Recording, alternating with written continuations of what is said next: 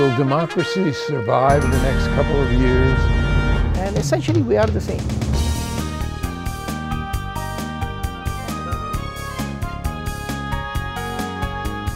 And there are so many needs that Minnesota has.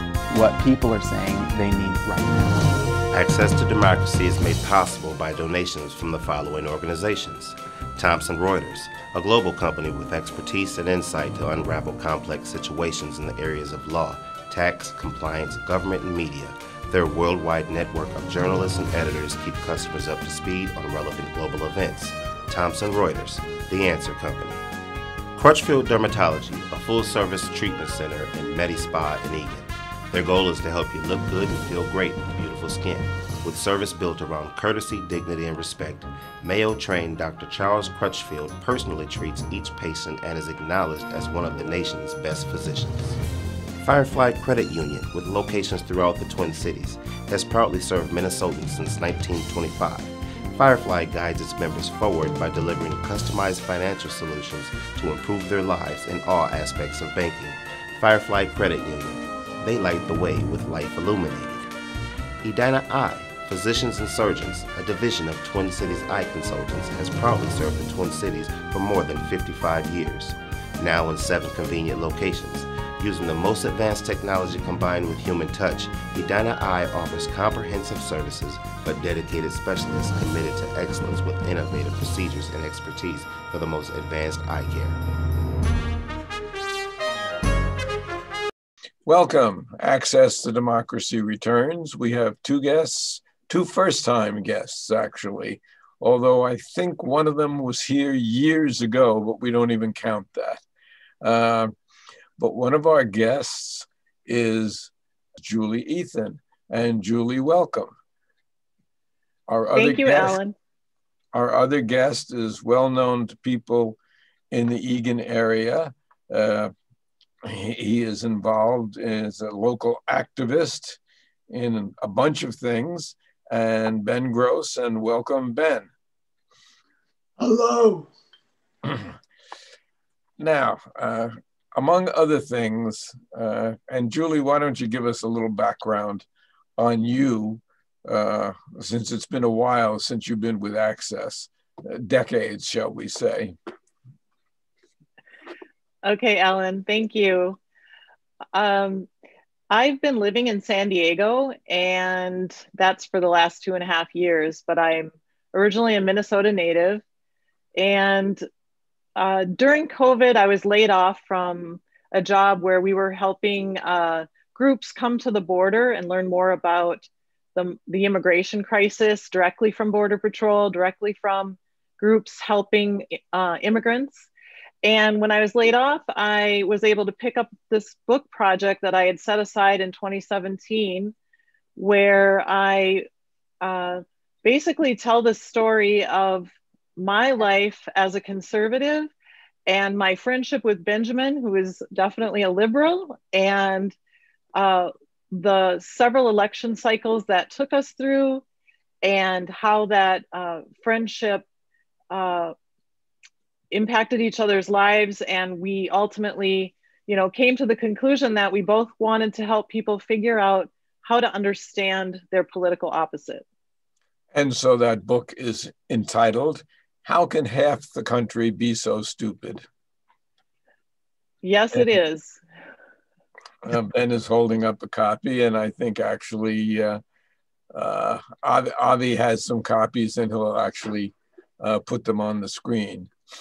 Now, Ben, you are uh, a Minnesotan at the moment, but you weren't always a Minnesotan and you've had a very interesting background starting from childhood. So why don't you tell us about it a little bit? Oh, thank you very much. And I'll try to make this brief. My father was a rock star in my life. I started in politics at three years old with going to doors, knocking on doors, asking people if they were registered to vote. And if they said yes, I said thank you. If they said no, you know, I said, Would you like to register? And if they said yes, I said, my father will be by in a few minutes. And I got to take a piece of chalk out to the sidewalk and make a mark as a signal that that was the place my dad would go to register. So uh, it goes from there of him uh, being instrumental with creating the first integrated planned neighborhood in this country. And uh, it, it was 90% white, and they still elected him uh, mayor, first councilman, and then mayor. Uh, and those, we're talking about California. Right. And uh, Milpitas, California. And he had a personal relationship with Walter Reuther of the UAW, which uh, sponsored uh, the neighborhood. And so uh, it's been an activist family, uh, political conventions my whole life. Well, you started a little bit earlier than that, though. Uh, I believe that uh, Nikita Khrushchev came into your life at some point. Isn't that true? It's very true. Uh, what happened, and I sent Avi a link about it, was uh, Khrushchev, the kitchen cabinet debate. And it was Nixon was going to go visit uh, Russia, well, Soviet Union then, and called upon the nation to go down on their knees, face east, and pray for all the imprisoned uh, Soviet Union citizens that wanted to leave. Okay. So anyway, the kit you can look it up. The kitchen debate happened, and my father was following it uh, because of one thing that happened. Khrushchev and Nixon face to face. Uh,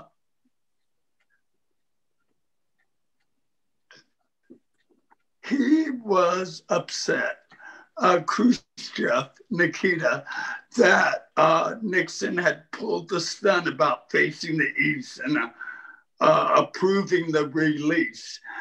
He said to Nixon that how is it any different how we treat our Jews here than how you uh, treat your blacks in America? So that got my father's attention and ended up with an invitation uh, to Khrushchev to come visit uh, the United States in the Ford plant in Milpitas, California. So he ended up coming out and having a backyard barbecue at my house and talking with my dad and that was early on that age. So your your activism goes way back. Uh, now, as as far to the left as you are, and uh, Julie, I have to admit that uh, I have been accused of being uh, further to the left than Lenin. Uh, you, however, have been an ultra conservative and a conservative all your life. So, uh, what brought you and Ben Gross together? Well, orig- originally, uh, we, we both live in Eagan, Minnesota, and we both had daughters in kindergarten at Thomas Lake Elementary. And they developed a friendship and uh, wanted to start having sleepovers. So, of course, the parents got involved with each other. And eventually, we just found that we really enjoyed each other's company.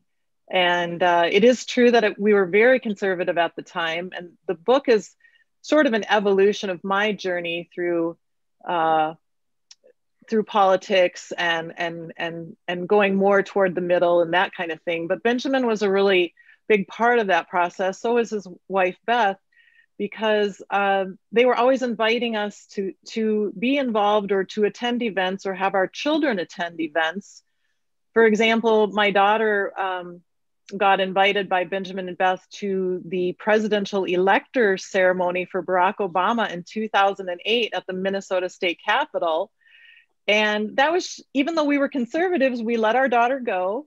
And that was just one of the ways that we, you know, really commingled and, and, and we didn't have all these, the, the vitriol that goes on today. And we weren't triggered by each other.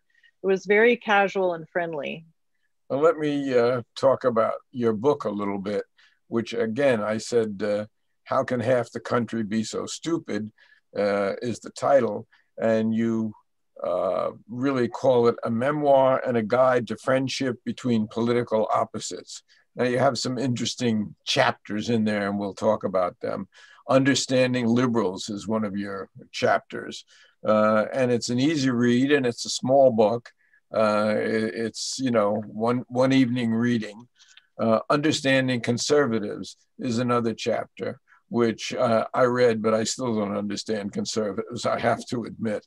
Uh, uh, evangelicals, end time teachings, uh, building bridges, George Floyd and all. so let's let's really step back and talk about how did you understand uh, liberals? How did you come to understand liberals?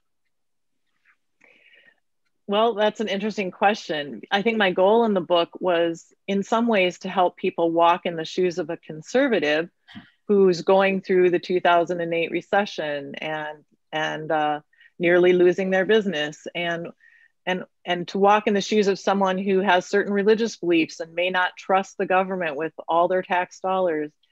And so in order for me to to help people understand liberals um, in chapter seven i have an interview with kevin fahey which is benjamin's father uh, or brother-in-law. And uh, wait wait wait you should say Beth's brother. And you know. okay yes. Yes his, his wife beth's brother. And and kevin um, you know had a union job on the iron range and he really took me through what it felt like to to be a union activist. What did they stand for? What was it like to be a dear friend of paul wellstone?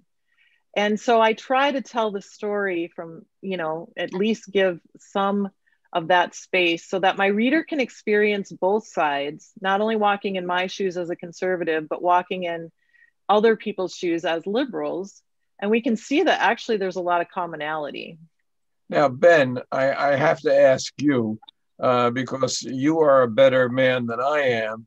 Uh, you apparently understand conservatives, uh, especially now after this Trump election.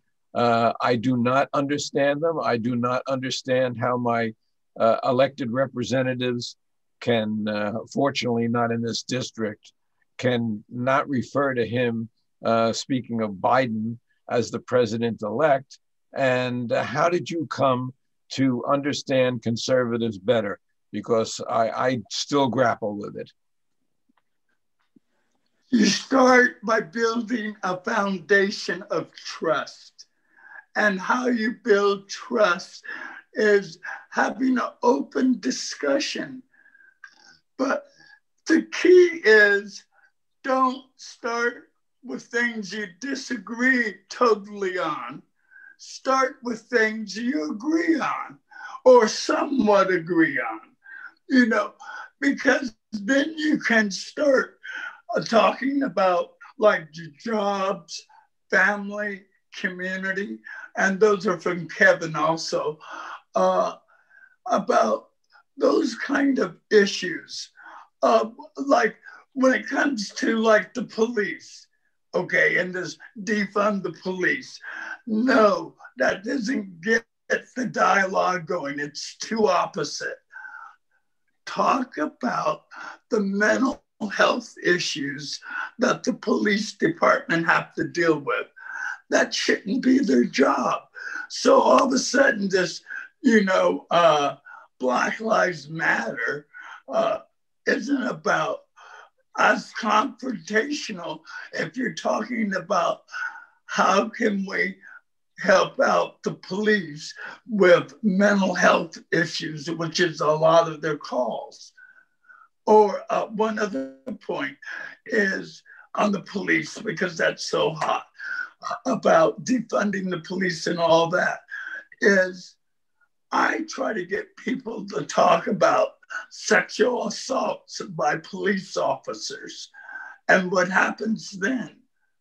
And they're blown away how uh, investigations get terminated if a police officer resigns. Then he can go and repeat the same offense at another uh, police department. There's no tracking. So it, find subjects that you can talk about and not have the intensity of wanting to bang your heads together. And I see Julie agreeing with you on that. Yeah. So let's let's hear from her on it. Well, that is exactly what Benjamin did. The first time we ever talked about politics is he started the conversation by saying, "Do you think there is anything the two of us could agree on in politics?" And that that started almost a, you know a, a two decade conversation and we found that we did have some agreement surrounding immigration and that the system was broken i was a small employer trying to compete against other employers that were using um, undocumented workers and and abusing the wage situation in that case. And i i felt like something needed to be done about immigration and so did benjamin. And so we we had some common ground and and and that is you know he just put it beautifully. You don't start with the most contentious thing. You basically ask what what are some things we might agree on and and maybe explore that and you are doing that i take it or you have been doing that in california uh, having moved from Eagan several years ago uh, as trying to work with undocumented immigrants and immigrants in general is that correct Absolutely. I've always been drawn to that. And once I, um, through Benjamin, you know, I was invited to one of the Martin Luther King breakfasts and I got to hear Senator Cory uh, Booker speak uh, back when he was, I think, the mayor of Newark, New Jersey. And, and that made me so curious. So I started digging into who is this servant leader type person who would go and live among the poor and, and lead in that way and those are the kinds of things that got me uh, wanting to learn more about immigration and and who was really to blame for this and and it's interesting that the more i looked into it the more i realized you know um, we always focus on the immigrant instead of the broader environment that has created this uh, this push for them to come here. And and and so i started to look at issues a little bit more um, globally, environmentally, rather than just focusing on like this law and order, this, you know, situation with one individual person. And, uh, and that's been really, well, it's helped broaden my worldview to say the least. Now, Benjamin, I, I know that you are... One point, Julian, okay. um, the key word that triggered uh, the discussion and the journey about uh, immigration. And Julie was, Julie, I don't see them as illegal aliens. I see them as economic refugees. Thank you. And I was like, what? What what does that mean, economic refugee? And I I had never thought about what was going on on their side of the border and why they might want to leave you know, Benjamin said, why would they want to leave their family, their language, their culture? Don't you think there's something going on there? And it really made me think. And, and they're fleeing for their lives in many cases uh, through no fault of their own. Uh, just the really uh, the area that they live in, the country that they live in, is going through chaos and revolution, and uh, they are victimized for no reason at all. So that uh, uh, economic uh, refugees is probably a, a, very good phrase. And that started it with the two of you, I take it.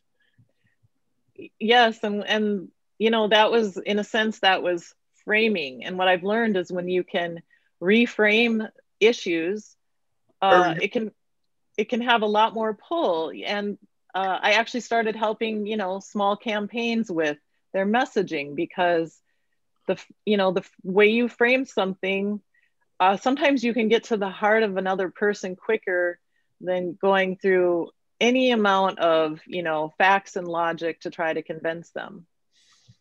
Now ben i know that uh, you have been very very uh, active and outspoken in the community and very active uh, in so many respects. Now the pandemic uh, has actually had to impede you in that regard uh, also some health issues so, how are you doing in that regard, and how are you dealing with the pandemic in terms of your activism? Okay, first of all, I, I want to give a big shout out here for the Mayo Clinic. We have one of the best hospitals in the world. And I feel I wouldn't be here today if it wasn't for them because 13 years ago I was misdiagnosed uh, with uh, uh, throat cancer, and it was inoperable by the doctors here. I asked my doctor if this happened to you, your wife, your kids, what would you do? And my doctor answered, I would go to the Mayo and see Dr. Olson, who is uh, ENT. And what? It's, it was just a whole thing. Well, I got there, they decided that uh, it was inoperable, uh, that there was nothing they could do. And this was 13 years ago? 13 years ago. Because but, I, have had I've had my own wonderful experience with the Mayo, which we've talked about on this program uh, quite a few times, and uh, I can't say enough about them either. And honestly, that's one of the injustices that we have in this country. I'm alive because of union, the UAW, my medical health care, you know, paid for that. My first three days there were $280,000. And I had to pay $223 out of my pocket. So uh, I got off on that. That was one part of the health issues. But uh, the second I don't, part, I don't want to cut you short, but we're down to five minutes. So, uh, how are you doing today, and how has the pandemic uh, affected you in terms of cutting down your activism? Well, it hasn't cut it down, but it has lessened my hope in a lot of ways because uh, back to this thing about talking, you know, this whole debate about the mask. You know what I've changed it to? I asked people about, well, you know, for years we grew up with no shirt, no shoes signs to go into a restaurant. Why weren't people in the streets writing about that? What is the difference between no shirts and no shoes and a mask? So that's how I reach out to the other side and make them think. And Julie, uh, what's the difference between your life in California in terms of activism and your life here? And uh, I do want to spend uh, at least a moment or two on your chapter, Evangelicals, End Time Teachings, and how that uh, plays into your life, or does it? Well, I mean, honestly, to answer the latter question, no, I'm no longer an evangelical. Um, you know, I've come through quite an evolution going back to school. Um, five years ago, I, I went to San Diego for a year on a scholarship to get my master's degree in peace and justice. And that sort of opened my eyes to um, kind of the global uh, situation that causes conflict where you know so much is economic security and food security and these are the the scarcity is what causes people to to fight against each other and to create wars and so i definitely am not the same person i was um, you know 20 years ago when we had kindergartners um, so in you know in san diego we are we are empty nesters finally so i've been able to focus on um, uh, you know like i said the the border the immigrant situation and then my writing so I don't know if that. So ask away about evangelicals, though, Al, Alan. Well, uh, where do they fit in our society today? Uh, we have evangelicals uh, who are people who put themselves next to God, and yet they were wholeheartedly supporting Donald Trump, who, in my estimation, is as far from God as as a human being can get. Uh, how do you reconcile that? Well, you know, without going into a long theological discussion, they have they have made their own bridges between uh, justifying support for someone who may not exactly hold their same beliefs.